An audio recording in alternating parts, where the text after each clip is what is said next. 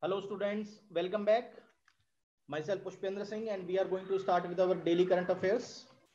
So these classes are basically meant for those students who are preparing for civil services examination as well as other government competitive examinations uh, because uh, the civil services examination basically require you to answer the few questions related to the daily current affairs. For that, you must read the two national newspapers. The first is uh, The Hindu. You can read any of these newspaper. And the second is Indian Express. Both of these newspapers are equally good. You can refer any of these newspaper.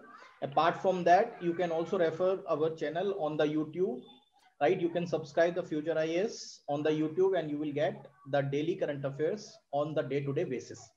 All right, so let's begin with our lecture for the 15th of February 2021.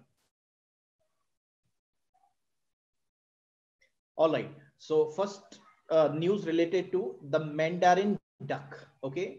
So this Mandarin duck is basically a migratory duck. Just like a migratory words are there, okay? They used to migrate from the place to place like that this duck is also famous for its migration okay but this duck is rarely found uh, right and whenever it is found it is basically become uh, very famous because its look is very you know attractive uh, very appealing so because of that uh, the the mandarin duck mandarin duck is basically famous because of its beauty because of its look so here this duck was found in a wetland in the assam's tinsukia district so uh, in the Manguri Motapung beel, beel in the Assamese language is called wetland or the lake. Okay. So in the Manguri Motapung beel lake in the Assam's Tinsukia district, this Mandarin duck, Mandarin duck have been found. Okay.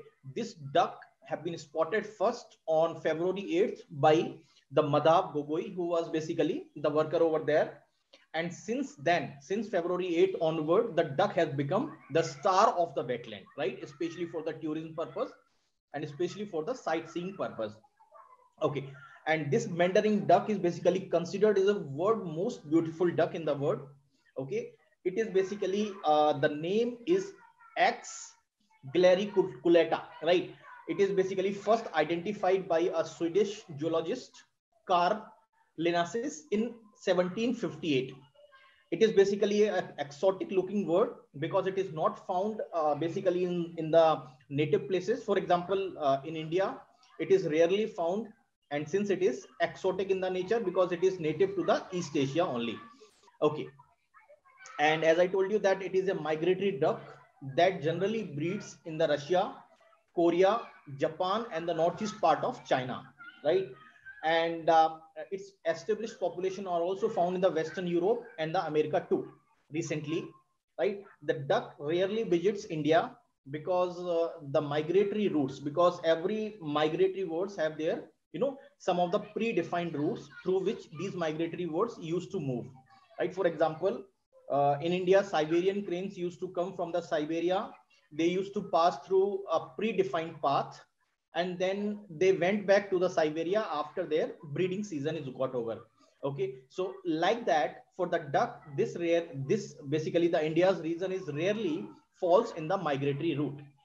And regarding the IUCN status, it is basically considered as a least concern. So that means its population is not falling with that pace and it is still considered as a least concern species. All right. And um, the duck is not globally threatened species. Obviously because of its rare appearance it is basically become very significant because of its the color because of its beauty because of because of its attractive look. Okay? So you can see here it is a mandarin duck which is also a migratory duck which are native to the east asia. All right? Then arjun main battle tank mk1a okay so here the Arjun main battle tank is basically the indigenously designed, developed, and manufactured by the DRDO. Okay, it is indigenously designed and developed. So the Prime Minister Narendra Modi recently handed over the Arjun main battle tank to the Indian Army at a ceremony in Chennai, right? During his visit to the Chennai. So this Arjun main battle tank is basically indigenously designed and uh, the Indian Army basically would receive 118 units of the Arjun main battle tank from uh, basically, you know, uh, the laboratory of DRDO that is we call CVRDE. CV means basically your Combat Vehicle Research Development and Establishment. So this laboratory, which is a laboratory of DRDO, Defense Research and Development Organization, along with that, around 15 academic institutions are also working for the manufacturing of the Arjun main battle tank, right? Apart from that, eight labs and several micro, small, and the medium industries are also part of the manufacturing process of the Arjun main battle tank. So the army would receive around 118 units of the main battle tank from the DRDO. Okay. Regarding the timeline of the Arjun main battle tank, the Arjun main battle tank was a project which was initiated by the DRDO, Defense Research and Development Organization in 1972, right? Obviously with the help of its own laboratory, Combat Vehicle Research and the Development Establishment. Since then, this project is continuously, you know, uh, you know, uh, implemented and uh, the mass production for that project is basically, you know, done in 1996 when the Indian Ordnance Factory basically produced, you know, uh, this Arjun main battle tank in its Avadi, you know, production facility or production line in the Tamil Nadu. So the mass production since then it is continued. Okay, and Indian Army since then have received the first batch of 16 tanks in 2004. Okay, as it written here, so Indian Army have received 16 tanks and also in 2009, right, uh, Arjun regiment have been also, you know, from and this Arjun regiment has 45 such tanks. Okay, and there have been also these tanks have been introduced or inducted as a squadron of 43rd Armored Regiment of the Indian Armed Forces. All right, so this main battle tank is very important for the for the battle preparedness, for the defense purpose. And it is most important is it is indigenously built, indigenously designed and indigenously manufactured tank, which is basically most significant for the Make in India as well as for Atmanirbhar Bharat, which will make the India self-sufficient in terms of the production of such main battle tanks, right?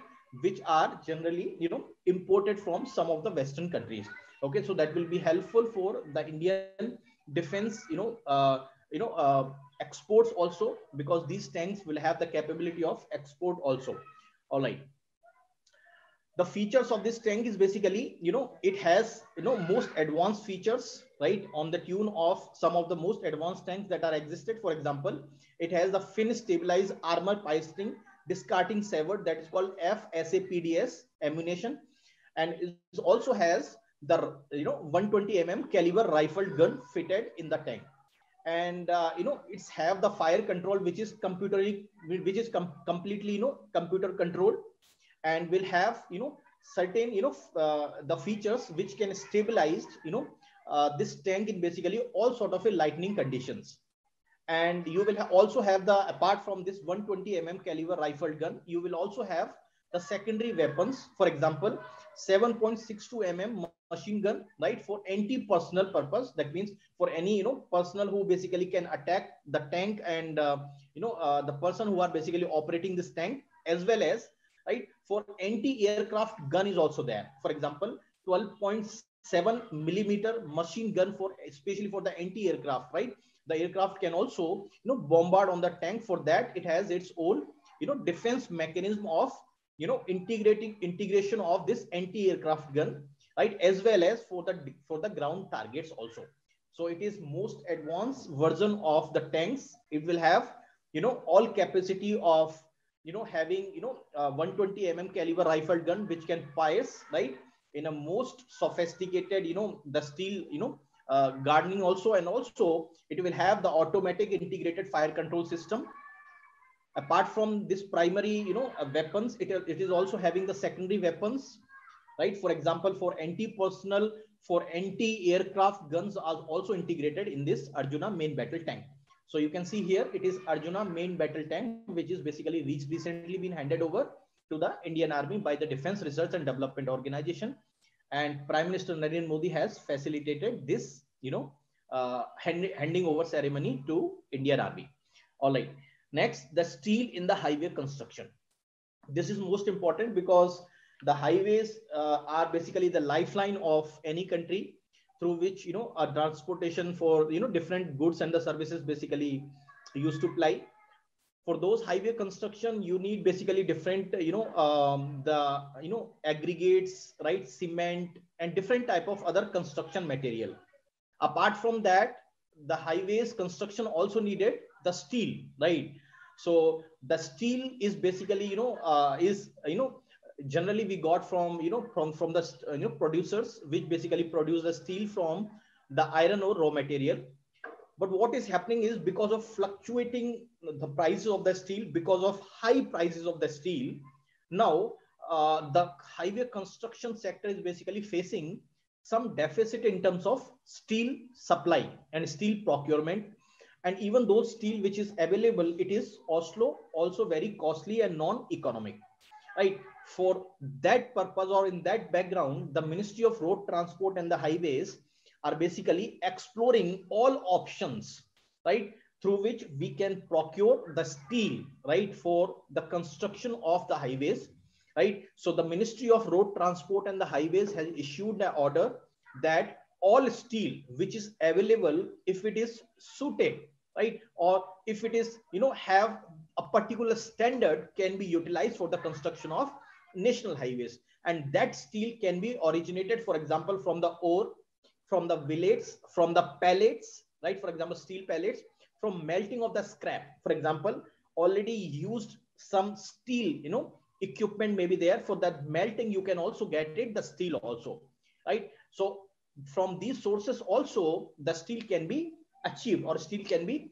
you know extracted. But the point is that previously you know previous to that order the steel which is basically used in the highways are basically mainly procured from the integrated steel producers only but now because of these orders the steel would be procured from you know the scrapping industries also which are basically you know producing the steel from the scraps also so that will basically boost the, the, the construction of the highway projects as well as it will also speeden the project of the highways construction. The ministry also clarified that it should meet the standards required for the specified grade of the steel, which will be used for the highway construction. Okay. For that, for meeting the standard, the ministry order ha has also passed an order that this steel or a specific grade, grade of the steel would that would be you know procured from such scrappers would be tested in a NABL accredited laboratories, right? This will be a third party check for their approval and after approval, this steel can be used for the construction of highways. Okay. And uh, as I told you that prior to that, you know, the order, the steels are generally procured from the steel producers only or primary steel producers only but now the steels can also be procured from the secondary steel producers also okay and i have also given you the background that since the prices of the steel is fluctuating sometime increasing also right? Which is basically impacting the cost of the production of or cost of cons construction of the highways okay? So uh, the ministry is exploring all ways through which you can basically you know uh, uh, can get the steel right? Uh, apart from the main you know the steel project apart from the main steel plants. So for that purpose you know uh, this has basically you know uh, introduced this order by which you can basically uh, you know get the steel from the secondary producers also because that will lead the more competition among the steel producers also. That would you know it decreases the price for procurement of the steel also. And that will basically help you know the highway construction for better price discovery from that especially from the markets. Okay and um, ultimate aim is to reduce the prices right or to cost through the use of new technologies for the construction of the highways right? All blockades or all restrictions which which basically restrict the supply of this raw material say the steel right as well as making this procurement system more transparent more robust right right? And more timely we are the ministry of road transport and the highways is making these changes in the procurement of the steel for the construction of highways. Okay. Then kotia cluster. Kotia is basically is a basically a panchayat or you can say it is a basically you know uh, consisting of the three villages. Okay. So cluster means it is basically consisting of the villages. This Kotia cluster is basically found uh, right at the border of Andhra Pradesh and the Orissa, right? And it is basically inhabited by the Kond tribals. So this Kotia cluster is basically inhabited by the tribals, specifically the Kond tribal. And this Kotia cluster is, you know, is in the news because of continuous conflict between the Andhra Pradesh and the Orissa. Both of these states are basically, you know, uh, try to enforce their own specific, you know, rights over this Kotia cluster because it has got certain, you know, uh, the basically some of the metals or, you know, like iron or gold and aluminum also. So because of that, the Andhra and the Orissa basically both are you know, uh, basically demanding the Kotia cluster within their territorial, you know, uh, area. So here, the first time the Andhra Pradesh held the elections for these clusters, especially for the three villages in the Kotia cluster, right? These three villages are basically, or the Kotia cluster are basically in the center of dispute because of such issues. And this is the first time the Andhra held the panchayat elections, right? In the villages of the Kotia cluster. So these villages which are found between, you know, uh, the, the border regions of Andhra and the Orissa have the combined population of 5,000. Okay. And they are located on a remote hilltop, right? On the interstate border between Andhra and the Orissa. And they are inhabited by the Kond tribal mainly. Okay. As I told you that this is in the conflict because this region is rich in terms of mineral resources. For example, you have got the gold platinum, manganese, bauxite, graphite, and the limestone. So because of that mineral resources, it is in the center of attraction. Okay. And uh, in, the, in the early 1980s, basically, the Orissa filed a case in the Supreme Court demanding the possession of these, you know, Kotia cluster, right, from the Andhra Pradesh, right? this cluster basically on that time when the suit was filed in the Supreme Court, it consisting of around 21 villages. So the Orissa was you know, demanding the right over these 21 villages. Okay. But what happens in, in 2006? The Supreme Court very clearly says that this matter or this dispute belongs to the, the state boundaries, right? And the ultimate jurisdictions lies with the parliament. Okay. So here the matter should be resolved by the parliament, not by the Supreme Court. So this issue, which is related to the dispute related to the state boundary, which is the original jurisdiction goes to the parliament. Okay. So parliament will have the right or uh, will have the jurisdiction to, you know, uh, to, uh, to basically resolve this border dispute between Andhra and the Orissa. And in that matter, uh, the Supreme Court basically passed a permanent injunction on the disputed area. Okay. So this is the border you can see, basically the Orissa and the Andhra. Okay. Next is Catalonia. So the Catalonia is basically an autonomous region, especially in the northeastern part of Spain, right? Spain is a country and Catalonia is a autonomous region, which is found in the northeastern part of Spain. Okay. Now, what is happening is that this Catalonia has already passed a referendum, right? In basically right uh, for you know for getting the independence from the spain because this is a basically rich region that means most of the gdp of the spain or most of the basically resources of the spain basically comes from the catalonia. And they are also the highest payer of the taxes to the government of spain. Despite of that one they are not getting preferential treatment by the government of spain.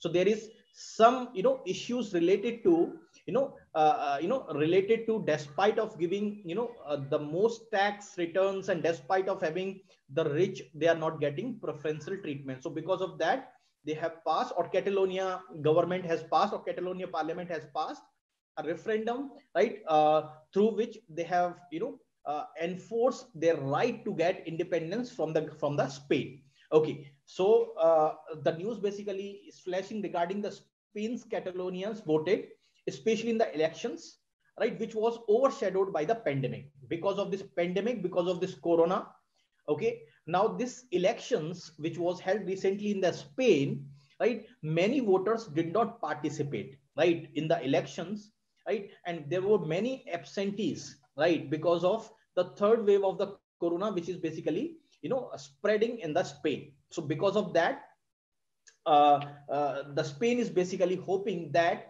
the region's separatist government, which is ruling currently, the Catalonia parliament, can be unseated in the, you know, uh, in the basically in the near future. Okay, so as I told you that Catalonia is an autonomous community which are found in the northeastern corner of the Spain, right? And it is basically consisting of the four provinces, the Barcelona, Girona, Lleida, and Tarragona. These are the four provinces of the Catalonia autonomous region. Okay. And regarding this political map, I will show you in, uh, you know, in the next few minutes. So uh, it is basically bordered by the France, right? By, you know, Occitanie and then Andorra to the north. And it is also bordered by the Mediterranean Sea to the east, as well as it is also bordered with the Spanish autonomous communities of the Aragon to the west and Bele and Valencia to the south. So just see the political map. You can easily find out these borders of the Catalonia, uh, you know, autonomous region. Okay. And, uh, you know, there is, you know, continuous demand for the independence of the Catalonia from the Spain since 2010.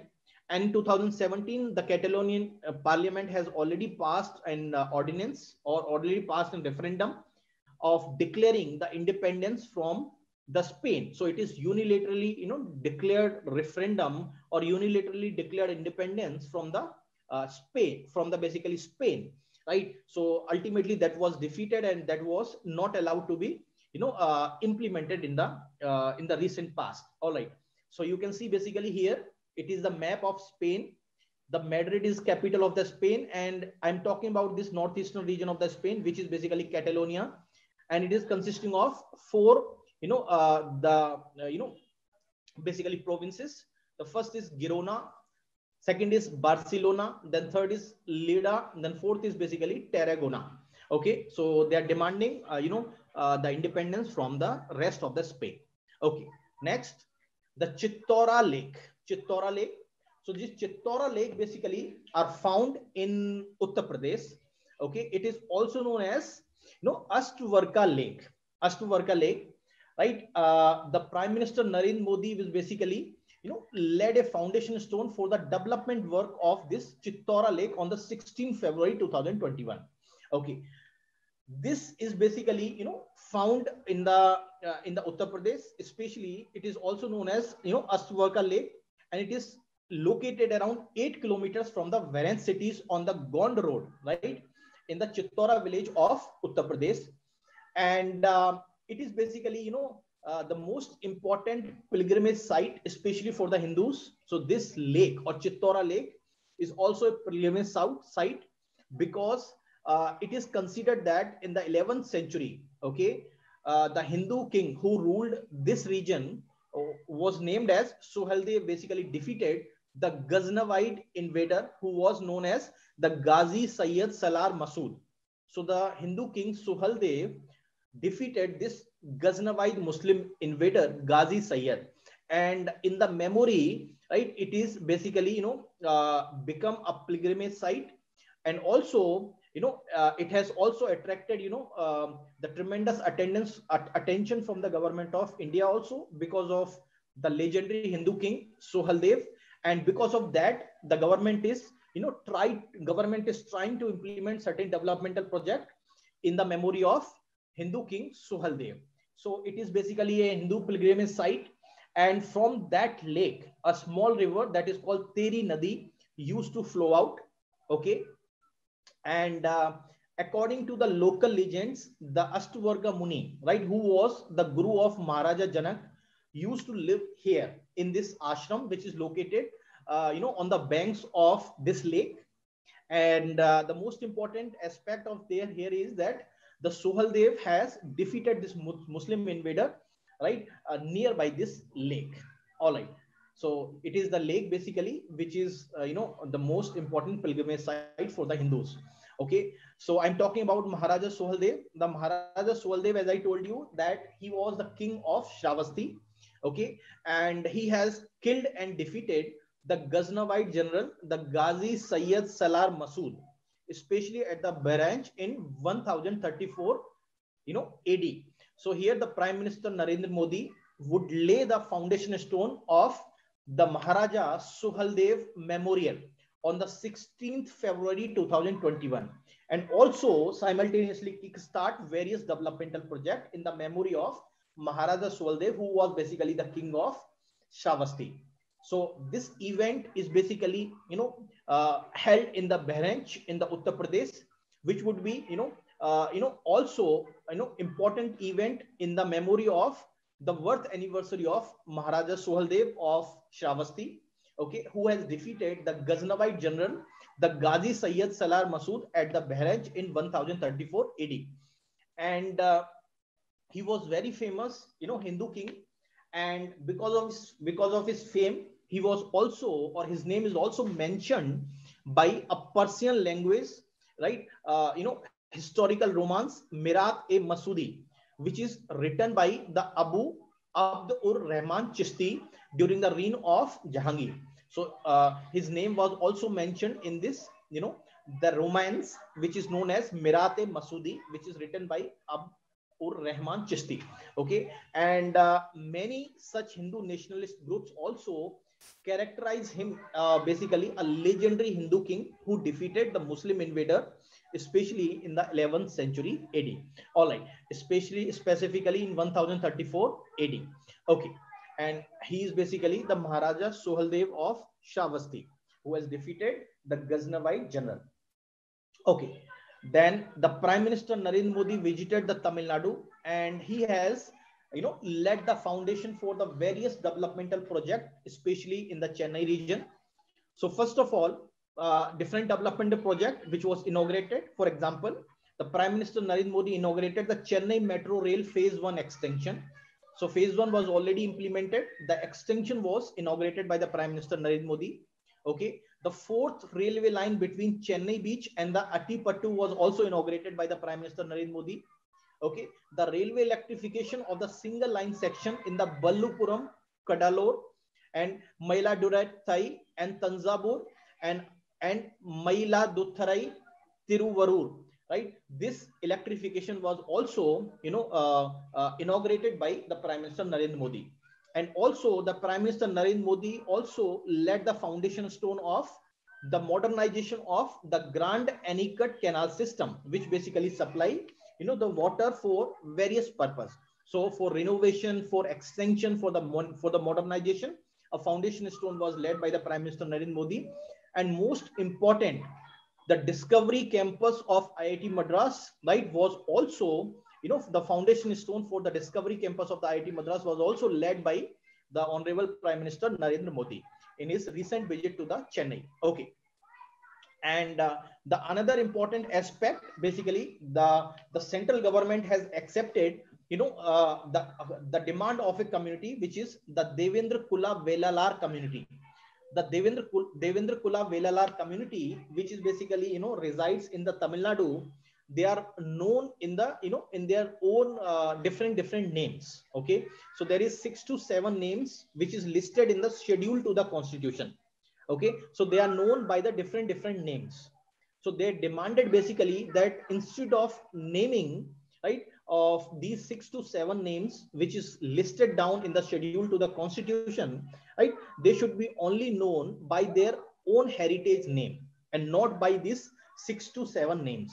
So the central government basically recently accepted the demand of this community and now they will be officially known as the Devendra Kula Velalar community and they will be known, right, uh, in the future only by their heritage name, not by the six to seven names which are listed down in the constitution. Okay. And regarding the Tamils in the Sri Lanka, the government of India also always supported the welfare of the Tamils in the Sri Lanka because there is significant population of the Tamil of the Tamil natives in the Sri Lanka.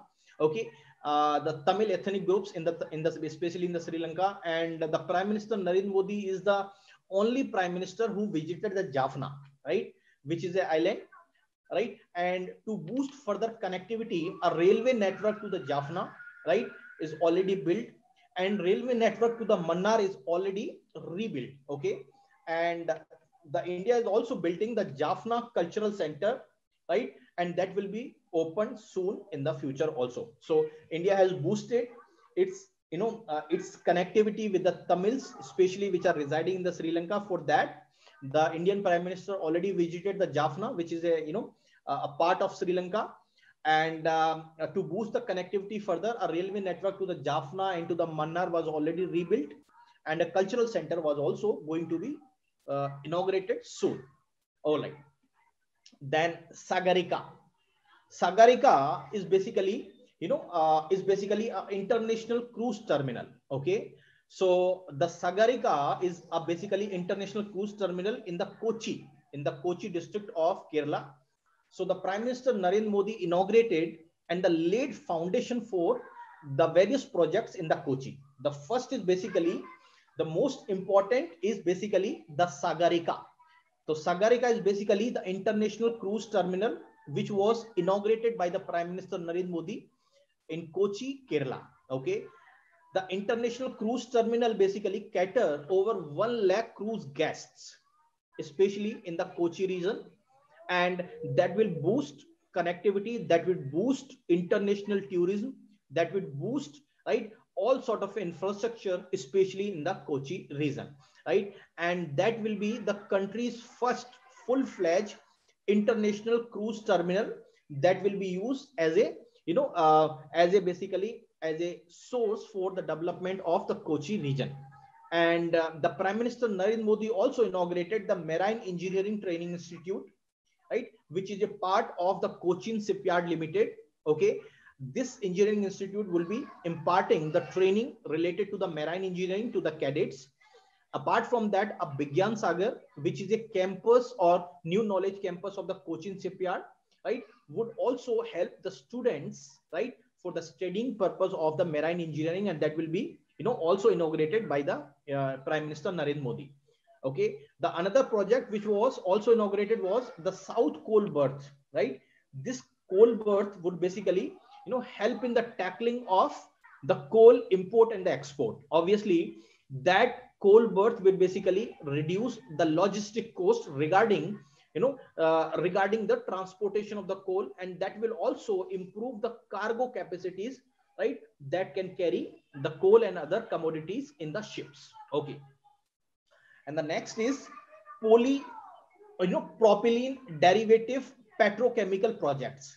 This polypropylene derivative petrochemical projects is basically also inaugurated this would basically produce certain derivatives of propylene and that will strengthen the india's you know uh, you know uh, uh, you know boost for the production of such derivatives in india itself and that will help the india journey towards being atmanirbhar right? And also since india will produce these derivatives definitely india will also save you know or save its foreign exchange from you know uh, from restricting or from basically you know uh, avoiding the import of such derivatives from the foreign countries.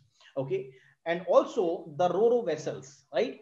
Which is basically also inaugurated by the Prime Minister Narendra Modi. So these RoRo vessels would basically connect the coastal regions, right? That would boost, you know, the uh, the basically, you know, connectivity also the tourism. So these RoRo vessels will cut down the distance. Also, for example, almost 30 kilometers if you go by the road, that will be just you know become 3.5 kilometers. So almost one tenth of the distance right by these roro roro vessels have been already cut it down by these waterways. And that will also leading to less congestion on the roads and it will be more convenient. It will be more you know uh, uh, you know economic also and it will definitely build the capacity of you know uh, the inland uh, sorry that will build the capacities of basically you know uh, the inland waterways, right? Which can be which inland waterways as well as you know other waterways which can basically connect the coastal regions, especially uh, especially in the coastal areas. Okay, so you can see basically the Roro vessel, which is basically connecting or you know taking out you know some of the tourists right from the places. All right, next the skill development schemes. So various skill development schemes was implemented by the government, government of India, spe specifically the Ministry of Skill Development and Entrepreneurship, right, which has uh, which has implementing or which is a most uh, you know uh, the main implementing agencies related to the skill development. So here the Ministry of Skill Development and Entrepreneurship informed the Rajya Sabha about the status of the skilled youths in India. So various, you know, the schemes which was implemented by the Ministry of Skill Development and Entrepreneurship. So first is most important is the, the centrally sponsored scheme that is called Pradhan Mantri Kaushal Vikas Yojana. So it is basically the demand driven, you know, centrally sponsored scheme, right? And uh, this Pradhan Mantri Kaushal Vikas Yojana is basically uh, for the short duration skill development program. Okay, so that will be imparting the training to the cadets for the shorter term, right? So that will have the short term training programs. And also if any of the candidates have the prior learning, right? So that prior learning will be recognized through this Pradhan Mantri Kaushal Vikas Yojana, right? And that will help the youths, right, across the states and the union territories to get the you know quality jobs in the different sectors of the economy. Okay.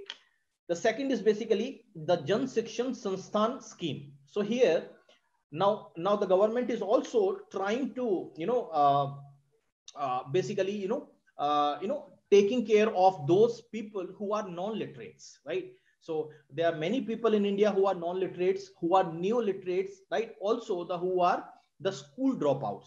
To target that section, a vocational skill program was, you know, initiated.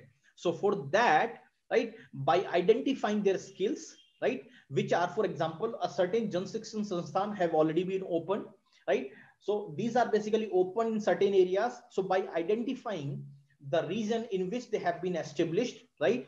Uh, the different type of skills have been imparted to those you know non-literates and the school dropouts so that it, they can achieve you know uh, the various you know uh, employment avenues in those establishments okay the next is basically the national apprentice apprenticeship promotion scheme so here the government of india is basically you know uh, you know connecting or increasing contact with certain you know establishment or industrial establishment by promoting those industrial establishments right to impart certain apprenticeship training to the people or especially to the unemployed you know youths.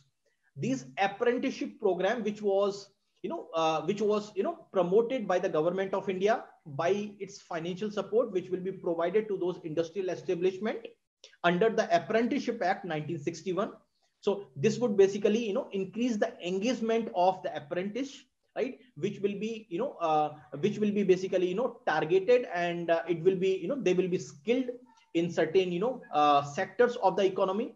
And that will help in terms of the boost of their, you know, employability in those sectors, as well as it will also increases, you know, uh, the skill manpower in our country also. Okay. The next is the craftsman training scheme. This craftsman training scheme is basically, you know, uh, a long-term training program which is related to the craft, you know, related to certain craft. And here you have 137 trades, right? So you have basically, you know, uh, basically incorporation of industrial training institutes or ITIs. These ITIs are basically providing these long-term training programs, right? Especially in the 137 trades to the candidates and that will be imparting right with the help of 14788 industrial training institutes in our country to provide that craftsman training scheme in our country. Okay. So that's all for the today. We will meet again tomorrow for our uh, the next current affairs class. Thank you very much for those who attend